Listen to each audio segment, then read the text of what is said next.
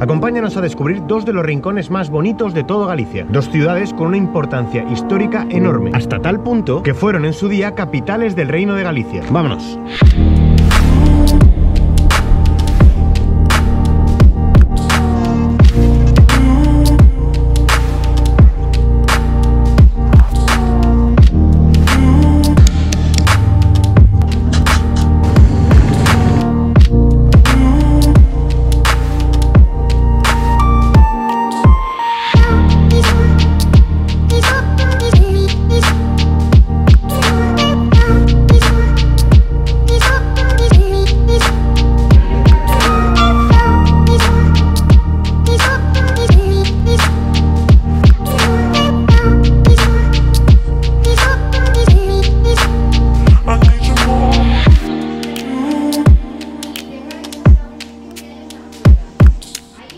Y empezamos conociendo Betanzos, que es una visita obligada en la provincia de A Coruña, una de las poblaciones más bonitas de todo Galicia, que cuenta con iglesias, convento, muralla, una ría navegable, incluso con una tortilla de patata propia. Antes de subir a visitar la ciudad, os recomendamos que os deis un paseo por toda la ría. Son dos ríos que rodean la ciudad y terminan en la ría de Betanzos. Como veis, es una ría navegable, está llena de barcos. Estos barcos en las fiestas se llenan de gente y lo celebran todo en el río. Así que antes de subir, nos vamos a dar un paseíto y luego volveremos hasta aquí porque vamos a entrar por esa puerta.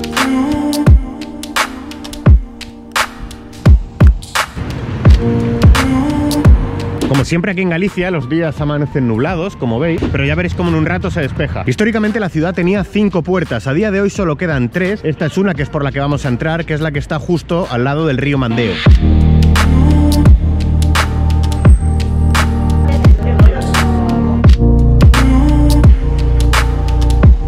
Parte del encanto que tienen muchas localidades gallegas y Betanzos, por supuesto, son sus fachadas y balcones, así que es uno de los sitios en los que según vas caminando tienes que ir mirando hacia arriba.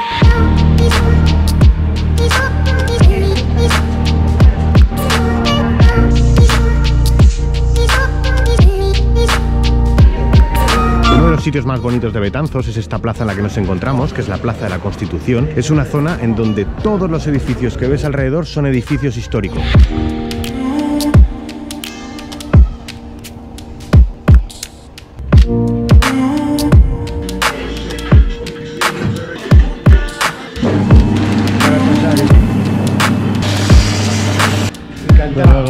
Luego, igualmente.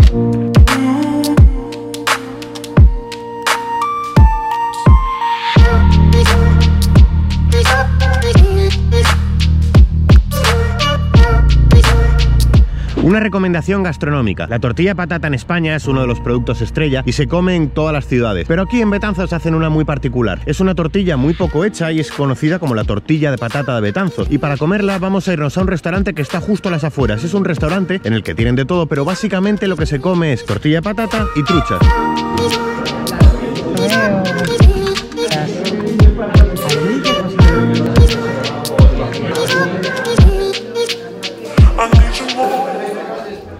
Una cosa muy curiosa de Mondoñedo es que a pesar de ser solo 4.000 habitantes, está considerado como ciudad y tiene una impresionante catedral en el centro. Esto te refleja la importancia que ha tenido históricamente. Como lo más llamativo y representativo de la ciudad es su catedral, lo primero que vamos a hacer es ir para allá a visitarla.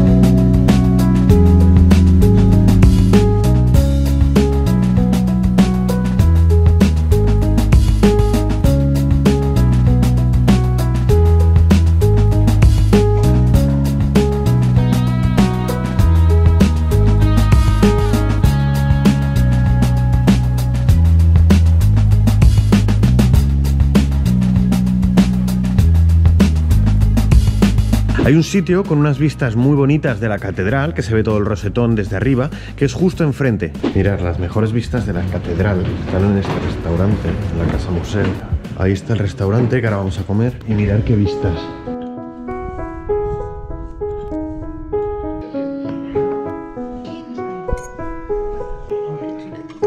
Uno de los atractivos que tiene Mondoñedo es hacer su ruta de los artesanos. Es una ruta en la que se van visitando diferentes artesanos de oficios tradicionales de la zona. Nos lo han recomendado, así que vamos a verlo.